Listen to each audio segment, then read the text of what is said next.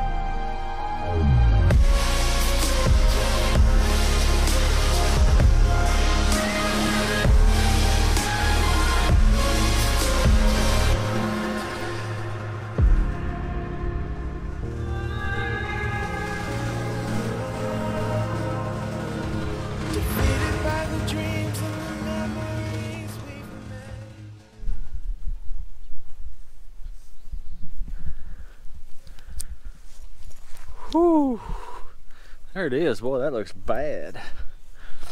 Good old dead fescue a little bit of rye and a bunch of weeds. the ground's about as hard as a, a rock right now. I mean, it's it's you could uh, you wouldn't want to fall on it. I mean, it'll be like hitting pavement. I mean, look at that. Dead in the door Looks like wintertime on a lot of our zoysia and Bermuda lawns. Uh, of course, I do not have an irrigation system. Uh, it's one thing I do not have is irrigation. Uh, we bought this house uh, four years ago, five years ago when I bought this house. Actually, when we first bought this, the grass was about six foot tall when we moved in, so it looked a lot like this when we first started. So uh, last year I decided to put grass down. We've never planted anything; it's always just been weeds.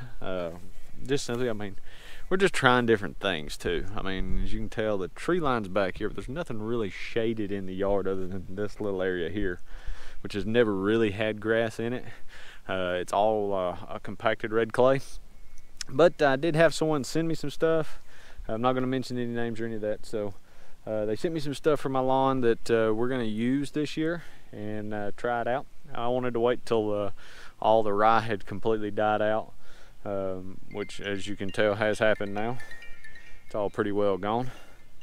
So uh, that's it guys. We mowed her down. Like I said, it was about a foot, uh, anywhere between 10 and 14 inches tall. So it was, it was pretty tall, a little, little weedy, a little stringy. But uh, pray for us guys that we get a little rain. Like I said, we've not had recordable rain now in about three weeks. And uh, we have unusually high temperatures for this time of year. We're uh, we're getting up in the upper 90s. Heat index is over 100 already, and it's not even June yet. Uh, and, and we've been dealing with that for two weeks now, upper 90s. Uh, usually this time of year, you know, we're still 80s, and so uh, it's pretty hot, uh, pretty, uh, I guess, uh, abnormally hot, which it normally isn't this hot. Boy, I got dust everywhere. thank goodness for the RZ mask you know they uh, if you guys ain't got an RZ basket I mean they, this is where they really come in handy doing stuff like this. So but anyway guys I'm gonna wrap it up there.